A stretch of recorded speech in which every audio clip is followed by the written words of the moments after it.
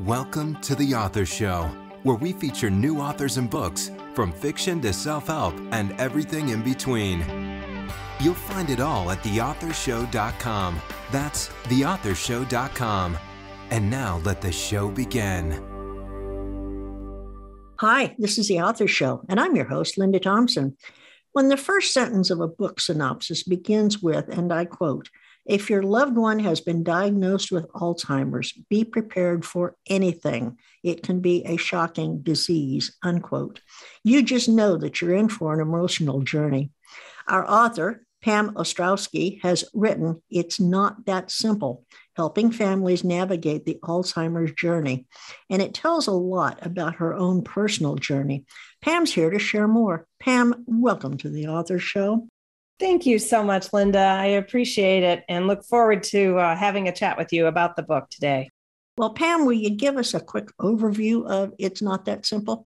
Absolutely. So, it's really a guidebook for family members, whether that is adult children or a spouse, on walking through the Alzheimer's journey. And the reason why I wanted to share my story with my 14 year journey with my mom and dad was that you can learn a lot in that time period.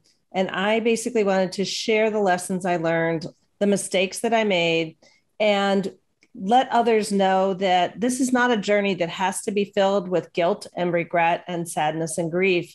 It can be very transformational, but you have to know how to view the journey, how to cope with the emotions, and what to do in order to provide the best care possible for your loved one with dementia. So that's the purpose behind the book is a little bit of story, a bunch of facts, conversation starters, and uh, just a really good reference book for those on this journey.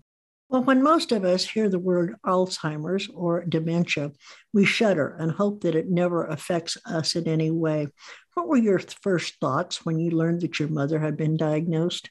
Well, it happened actually in a flower nursery. It was kind of a flower shop with a US Postal Service inside of it. And mom had unreasonable anxiety about dad not making the the line to mail the bill. I had to take her face in my hands and look her right in the eye and say, It's going to be okay. The water bill will make it to the provider on time. We don't have to worry about it. And there was this really sad little fearful girl behind those eyes. And I thought, oh my gosh, we are in for a ride. And that was the first time that I noticed her behaviors and really started tuning in, you know, being able to then observe and ask her questions about some of, you know, well, what did you have for lunch? Versus you know did you guys go out to eat which would have been a yes or no question. So that was the first thing that came to mind is i need to get prepared for this. And i moved them within eight months i moved them to phoenix from new hampshire. So that was my first action as i just packed them up had them move and come out by me so that i could observe her behavior one on one in person. Well pam not only was your mother diagnosed with Alzheimer's, but your father was afflicted with dementia. Were you dealing with both at the same time, or what was the timeline of your journey? So, dad didn't develop dementia until about two years before he passed.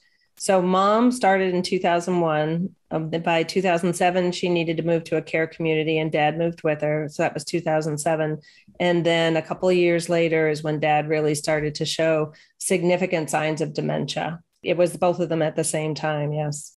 You talked a little bit about recognizing your mother's consternation at getting a, a, letter mailed out on time. Was that the first introduction you'd ever had to Alzheimer's and dementia, or were you familiar with what to look for at that time? No, I had no clue. It, this came out of the middle of nowhere.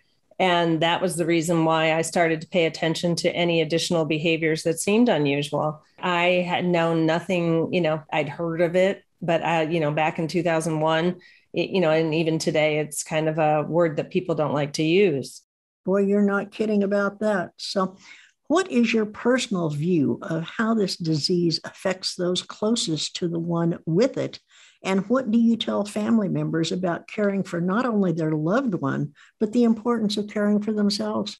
The challenge that family members have, and that I think is so important to realize, is that caring for someone with dementia is not the same as caring for someone with a heart attack or a stroke or cancer.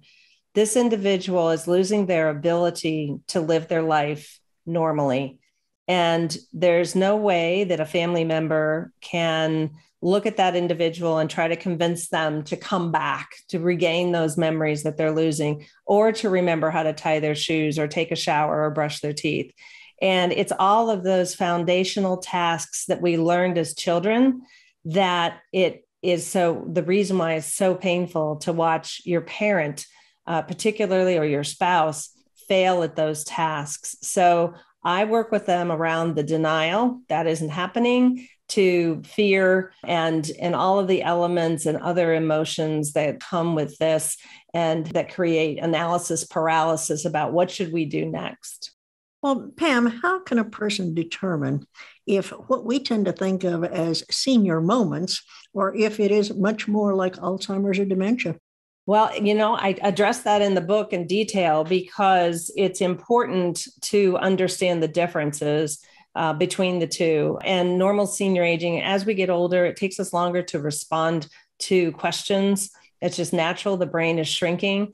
Um, there are some things like pseudo dementia that are a result of lack of nutrition and hydration and those types of things, which are actually very prominent in seniors. There's no easy answer. You, it's very individual. The disease and the condition of dementia is very unique to each individual. So you really have to read the book, get the details, and understand how the two types of both dementia and then Alzheimer's disease itself function for individuals. While you were writing your book, were you picturing any particular type of reader, or is this for everybody? I would say me. I wrote it for for me, um, the adult child who is very close to their parents, loves them to death, best friends, you know, really close, because those are the people who are going to notice the differences the soonest. So I did write it for adult children. It is relevant to spouses as well because there's a lot of detailed information about what to look for from behaviors, conversation starters, and that type of thing. But I wrote it from my perspective as an adult child going through this with her parents. Is it's not that simple, similar to anything else we may have read on the subject? I would like to say no, it isn't because there are other books out there about an adult child talking about their experience, but those aren't guidebooks. They're more stories about what they went through. And I created mine as a guidebook because I really, when I was going through this, wanted lessons. I wanted someone to tell me, what am I looking for? What do I do? What's coming? And I couldn't find a book that had that. So that I think makes it's not that simple, very unique.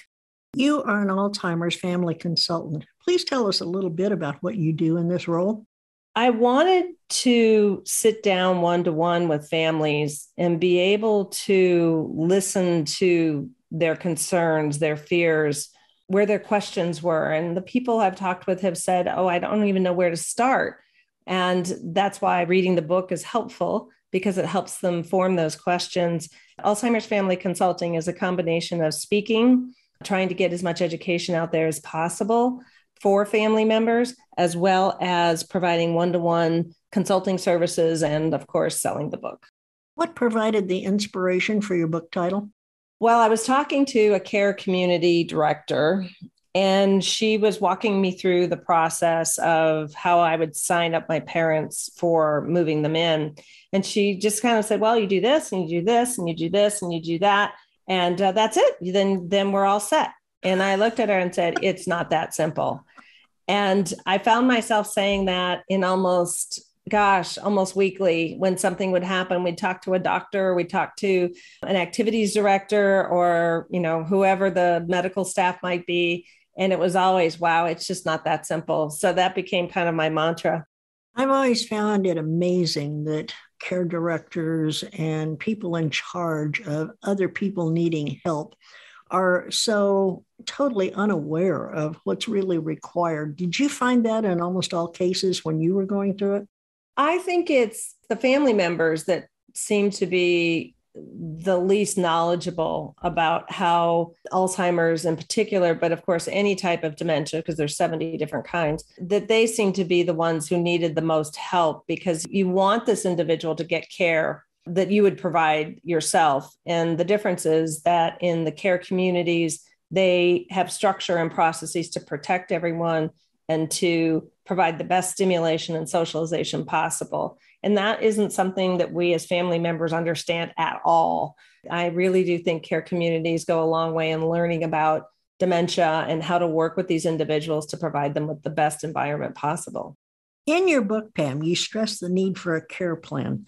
What is that and why is it so important?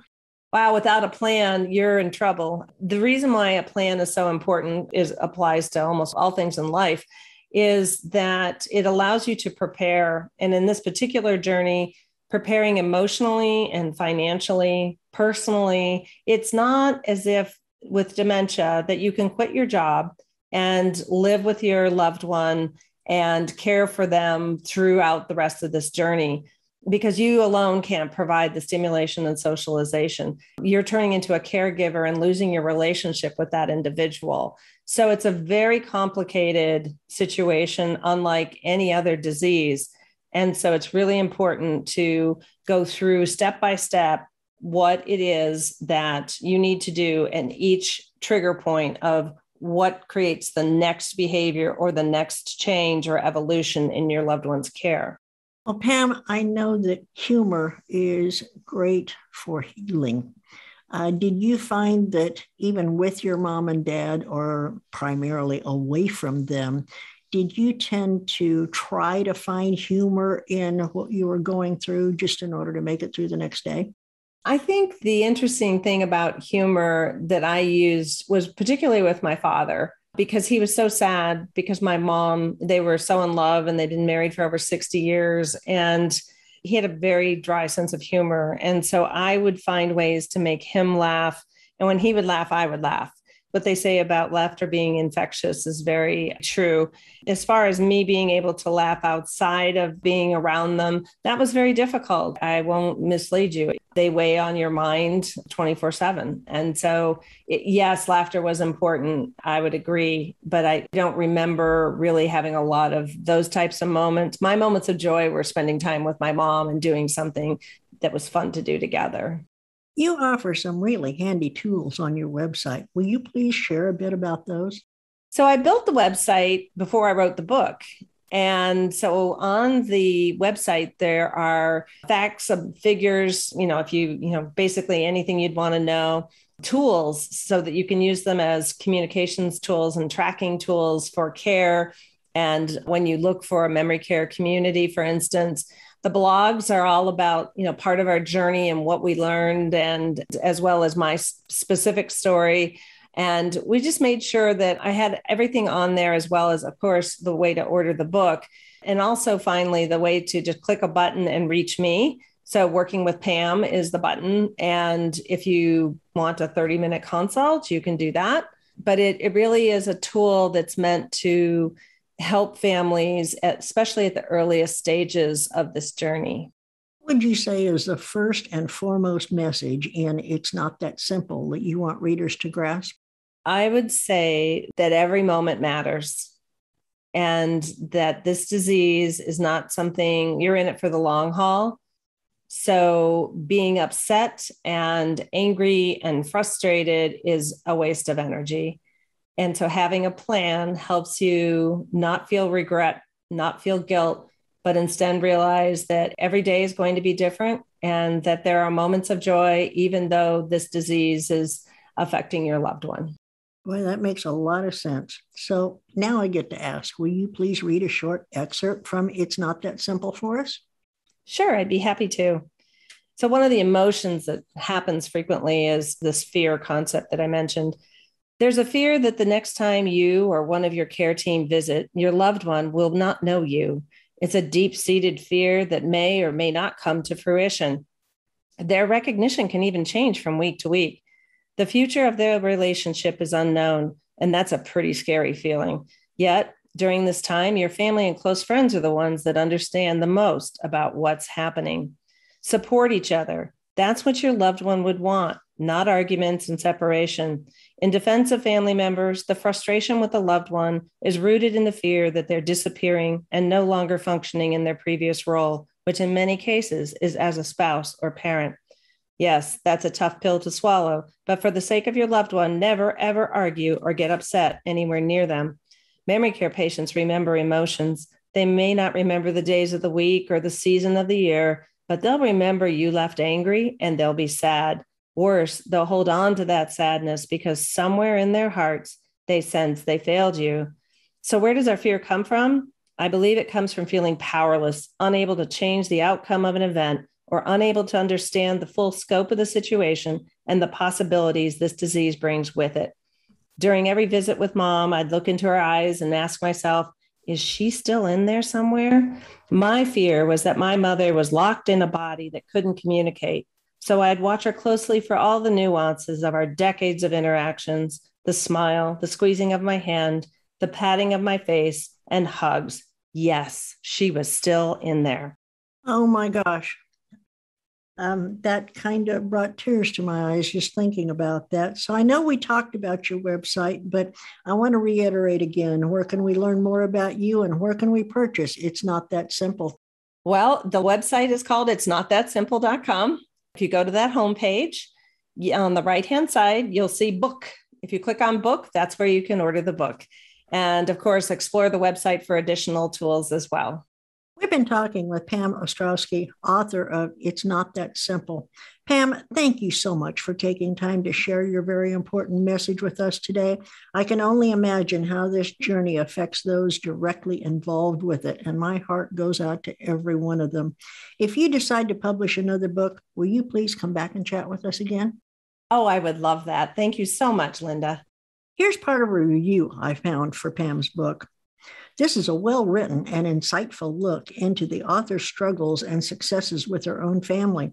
It's easy to read and understand from a layperson's outlook, a must read for all going through their own struggles of caregiving for a loved one with dementia. So, if you or anyone you know is struggling with this dreaded disease and want a good resource, please go to it's not that simple.com and order your copy today. And when you finish, please don't forget to post your review and share this interview with your friends so that they too may become acquainted with their author. And remember, the authors show may be accessed at any time at theauthorshow.com. Plus, selected interviews can also be found on major platforms such as Amazon Fire TV, the Roku channel, Spotify, Amazon Music music, and many more. Whether you're an author who would like to be featured or a reader in search of new books, theauthorshow.com is a really great place to start. Thanks for listening to The Authors Show. Find out more about authors and their work at theauthorshow.com. Theauthorshow.com. Tune in next time to another great author on The Authors Show.